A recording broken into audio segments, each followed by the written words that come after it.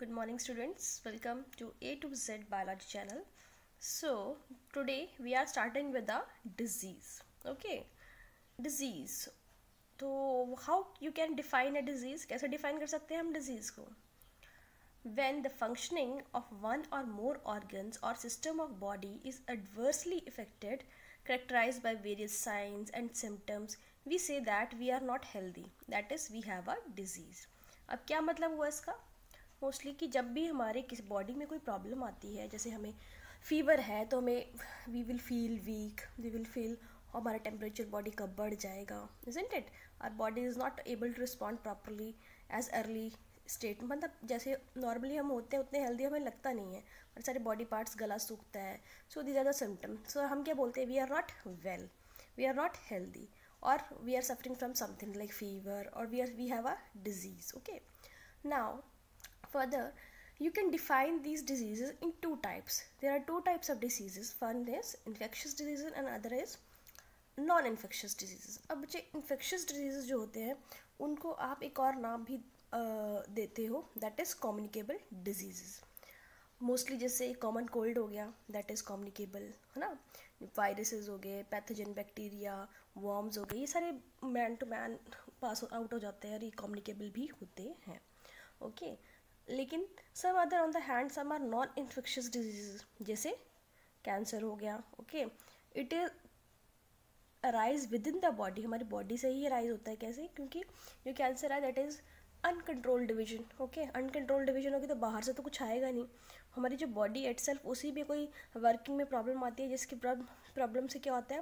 हमारा किसी body part के सेल्स अनकंट्रोलेबली डिवाइड करना स्टार्ट कर देते हैं। जिसकी वजह से that person will suffer and also cause to death now अब मोस्टली डिज़ीज़ जो होते हैं, उसको हम दो कैटेगरीज में डिफ़ाइन करते हैं। जो अब जो हमने बात की नॉन इन्फेक्शियस और इन्फेक्शियस ये बच्चे डिज़ीज़ आते हैं एक्वायर्ड कैटेगरी में, ठीक है? एक्वायर्ड मतलब जो हमें बाहर से मिलते हैं, हम एक्वायर करते हैं किसी और जगह से, है ना? नेक्स्ट जो होता है सेकंड कैटेगरी होती है, वो कॉन्जेंटल डिज़ीज़ की होती है। कॉन्जेंटल डिज़ीज़ कौन से होते हैं? जो हमें बाय बर्थ मिलते हैं हेरिडिटरी होते हैं। जैसे आपने बड़े फिनाइल केटोन्यूरिया सुना होगा albinism sickle cell anaemia haemophilia colour blindness ये कौन से डिज़ीज़ होंगे बच्चे? That are inherited by birth and these are called congenital diseases and the second one was acquired diseases so, now, further, let us talk about diseases which are in a syllabus. So, first one is typhoid. I think all of you have heard about typhoid. के बारे में mostly सबने सुना ही होगा. So it is caused by a pathogen that is named as salmonella typhi what it is salmonella typhi अब इसके symptoms क्या रहते हैं बच्चे?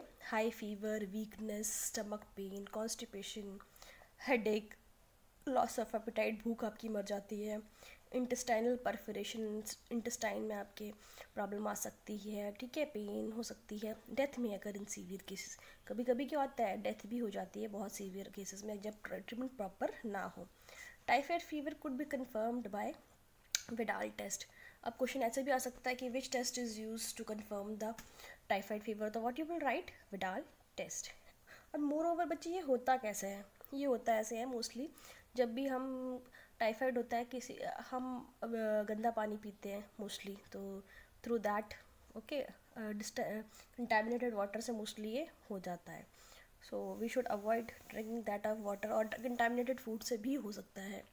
ओके एंड मोर ओवर जो टाइफाइड होता है समटाइम्स इट इज़ रिलैप्सेबल जैसे एक साल आपको हुआ है तो उसकी इन्फेक्शन आपके लीवर में रह जाता है तो वो नेक्स्ट ईयर भी आपको रिलैप्स कर सकता है okay so proper medication should be there to for typhoid treatment now let us talk about mode of transmission जो ये सारे हमारे डिज़ीज़ हैं, ये ट्रांसफ़र कैसे होते हैं हमें, ठीक है? कैसे हमें अलग अलग डिज़ीज़ कैसे मोड ऑफ़ ट्रांसमिशन क्या रहता है? तो mostly this pathogen generally enter the small intestine through contaminated food water सबसे पहले कहाँ जाएँगे? हमारे स्मॉल इंटेस्टाइन में। और मोस्टली स्मॉल इंटेस्टाइन में कोई भी चीज़ कहाँ से जाती है? हम खाएँगे तो भी जाएगी। तो हम क्या खाते हैं? कंटेमिनेटेड फ़ूड खा लिया या वाटर खा पी लिया, है ना? And migrate to the other organ through the blood जब ये हमारे स्मॉल इंटेस्टाइन में जाएँगे तो फ़ूड चर्न होगा। ठीक है? फ़ूड डाइजेस्ट होगा, उसके साथ ये भी रहेंगे। साथ में फिर ये ब्लड स्ट्रीम में जाएँगे। ठीक है ब्लड स्ट्रीम के ब्लड तो हमारे बॉडी के हर ऑर्गन में जाएगा। तो ये सारे हमारे ब्लड ऑर्गन ब्लड के थ्रू सारे बॉडी के ऑर्गन्स में पहुँच जाते हैं। Now next here you can see a cycle जो क्या है, ये बैक्टीरिया फॉर्म हो रहा है, ठीक है? Bacteria is there now what happen in this cycle है, ठीक है? जैसे ये बैक्टीरिया है तो when cow eats a grass this is a bacteria one cow eats a grass यहाँ पे काउ का खाएगी काउ कहाँ ट्रांसफ़र करेगी उसको एज इट इज़ मिल्क में। मिल्क से कहाँ आ सकता है? ह्यूमन बींग में। That's why we always called don't drink a raw milk तभी हम मिल्क को हमेशा क्या करते हैं बच्चे?